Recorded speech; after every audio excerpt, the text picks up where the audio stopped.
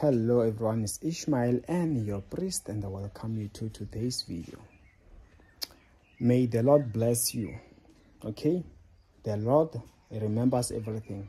Don't be deceived by a message which is incorrectly preached when they say, ah, oh, it's all by grace, not by works. It is true, but they never get to explain the real meaning of that. Chapter 10 of the book of Acts. Cornelius was always praying and giving and finally it came as a memorial to the Lord. Listen, He will reward you. What touches God, God is going to bless you for that. Anything you have done to touch the Lord, may you be blessed in Jesus' name. Amen and see you next time.